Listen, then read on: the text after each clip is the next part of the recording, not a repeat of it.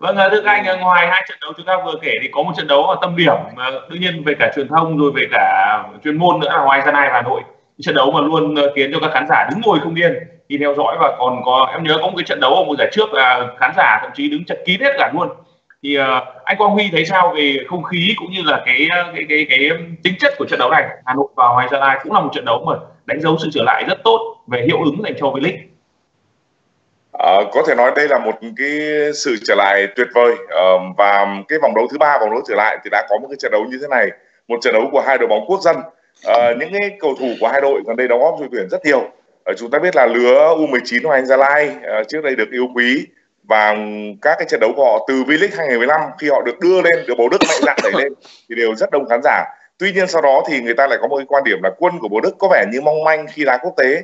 Thế thì lập tức lại có một thay đổi của Hà Nội xuất hiện và cái chất của Hà Nội lại bổ sung cho chất của bầu Đức Hoàng Gia Lai thì rất là hay. Đấy, cũng là những cầu thủ Hoàng Gia Lai đó, nhưng mà ở đá câu lạc bộ không phát huy được như ở đội tuyển. Đấy là vì tôi nghĩ rằng là những cái thành phần khác, trong đó một yếu tố rất quan trọng là cầu thủ của Hà Nội lại mang đến những cái phong cách khác, mà điển hình là hình ảnh của Tuấn Anh đá với Hùng Dũng ở giữa sân. Đấy, Tuấn Anh làm sao không đá được như vậy ở Hoàng Gia Lai, nhưng mà có Hùng Dũng. Thế thì đây là trận đấu mà của hai đội bóng quốc dân, cũng là trận đấu của những người bạn nữa đấy và và tôi thì tôi ờ, vẫn tin là năm nay Hoàng Gia Lai họ sẽ uh, có những cái bước tiến uh, tốt uh, qua hai vòng đấu trước và một số trận đấu gần đây. Thì dường như cái điểm yếu cố hữu của họ là phòng ngự đã được gia cố rồi. Ở trận đấu cúp họ bị loại trước Nam Định. Đấy là khi mà họ mất uh, trung vệ Memovic. Anh chàng cao 1m96 này là vắng mặt. Cầu thủ Kelly về đá trung vệ là không ổn bởi vì Kelly là tiền vệ phòng ngự. Memovic trận này trở lại rồi và Hoàng Gia Lai sẽ có một cái điểm tựa à, tôi cho rằng đây sẽ là trận đấu mà Hoàng Gia Lai đá tốt hơn khi thi đấu trên sân Hà Nội ờ, so với những năm trước. À, tuy nhiên um, tôi thì tôi vẫn không nghĩ là Hoàng Gia Lai có thể có điểm. Hà Nội người ta vẫn già dặn hơn.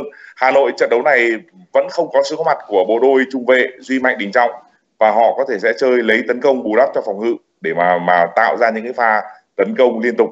Và tôi cho rằng Hoàng Gia Lai trận đấu này sẽ thể hiện được nhiều để lại hình ảnh đẹp nhưng mà có lẽ vẫn thua ở trận đấy. Vâng, còn anh Tùng thì sao ạ? Hoàng Anh Gia Lai và câu lạc bộ Hà Nội. À, tôi nghĩ rằng đây là một trận đấu vẫn là trận khó cho Hoàng Anh Gia Lai. À, đội bóng này ờ, tôi vẫn chưa thể tin rằng là họ đã tìm được cái con đường để duy trì được cái sự ổn định. Đấy là một điều mà rất là đáng tiếc à, và cần phải có thêm thời gian để để để họ chứng minh rằng họ đã đổi thay. cái việc mà bổ sung uh, Mimovic cho hàng phòng ngự là một trong những giải pháp nhưng ờ, từng đó thôi thì nó mới chỉ có thể hạn chế được một cái lỗ giò nào đó, chứ chưa có thể là tạo ra được một cái tính tổng thể cho cả lối chơi. Thế nên tôi nghĩ rằng là cái việc này là việc mà chúng ta cần thêm thời gian. Và may ờ, và cũng là rủi cho họ. Tức là may là gì? Là vì là lúc mà họ có thêm thời gian để mà họ củng cố ờ, để mà vậy là chuẩn bị cái mùa giải nó nó nó kỹ lưỡng hơn. Nhưng cái rủi chỗ là cái cái trận đấu đầu tiên quay trở lại này lại đá, sau khi đá cúp cách đây hai vòng thì lại đá với cả câu lạc bộ Hà Nội trên sân hàng đẫy nó nó có sẽ có nhiều bất lợi. Với câu lạc bộ Hà Nội vào lúc này là cái quyết tâm của họ chắc chắn rất cao. Hà Nội khởi đầu V-League năm nay không tốt. Nhưng sau một quãng thời gian nghỉ như vậy thì cái nhịp chơi của họ cái cái cái, cái nhịp để lấy lại phong độ của họ nó đã được chuẩn bị khác đi.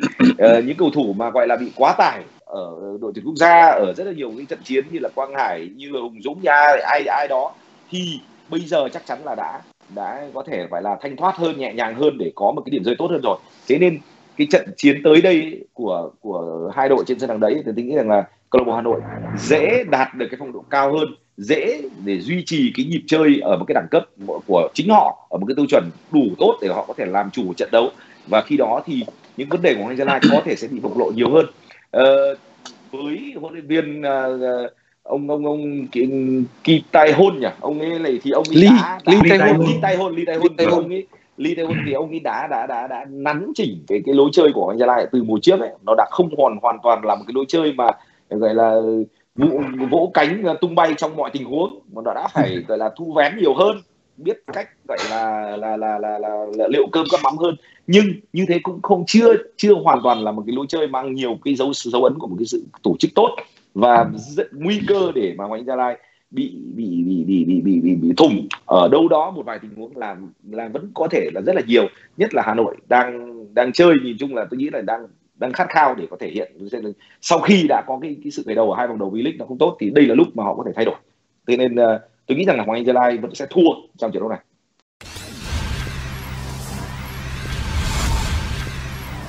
Next Sport, nước đồng hành cùng thể thao Việt Nam trên khắp mọi chặng đường.